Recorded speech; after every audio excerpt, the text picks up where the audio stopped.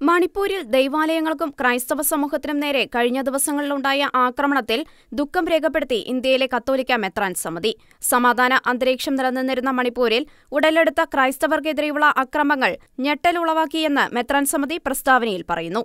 മൂന്ന് ദൈവാലയങ്ങളും നിരവധി വീടുകളും ഇതിനോടകം കത്തിനശിച്ചതിൽ മെത്രാൻ സമിതി ആശങ്ക രേഖപ്പെടുത്തി. സംഭവത്തിൽ പോലീസ് ഇടപെടൽ ഫലപ്രദമായില്ലെന്നും മെത്രാൻ സമിതി പ്രസ്താവനയിലൂടെ അറിയിച്ചു.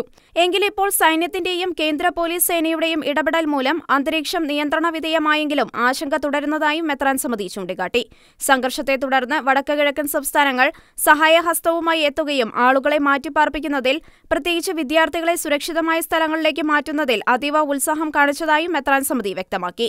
കത്തോലിക്ക സഭയ്ക്ക് മണിപ്പൂരിലെ ജനത്തിന്റെ കാര്യത്തിൽ ഗോത്രവർഗ വ്യത്യാസമില്ലാതെ അതീവ ഉത്കണ്ഠ ഉള്ളതായി മെത്രാൻ സമിതി വ്യക്തമാക്കി.